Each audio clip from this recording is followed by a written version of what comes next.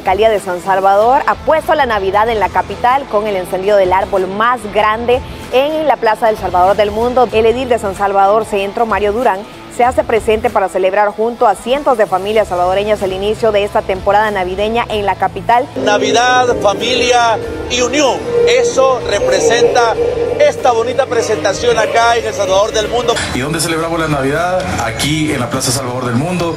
Ya lo decía Luis Pedro, uno, el encendido de árbol más icónico de este país. Ya son 11 años en el que se está celebrando con la familia San Martín este, este espacio. Y con el objetivo de definir todas las destinadas para el comercio nocturno y mantener el orden y la limpieza, el Consejo Municipal de San Salvador Centro aprobó una serie de reformas a la ordenanza reguladora del comercio en el espacio público. Las reformas a la ordenanza municipal van dirigidas a comerciantes por cuenta propia que insisten en vender en las zonas recuperadas y revitalizadas en los distritos de San Salvador, Ciudad Delgado, Mexicanos, Ayutuxtepeque y Cuscatancingo.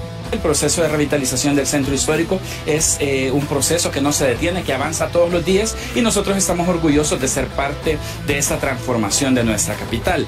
La alcaldía capitalina unió en matrimonio civil a 60 parejas en las primeras bodas colectivas realizadas como municipio de San Salvador Centro. Una ceremonia oficiada por el alcalde de San Salvador Centro, Mario Durán, formalizándoles en un núcleo familiar, como dicen, con todas las de la ley de parte mía, pues dichoso de haber sido parte de la vida de cada uno de ustedes.